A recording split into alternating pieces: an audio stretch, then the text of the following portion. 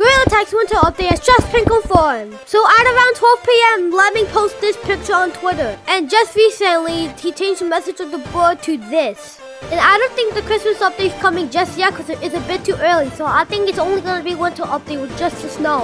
And I've been waiting for the snow to come back for so long, so I am so excited. If you're excited too, comment this video. So peace.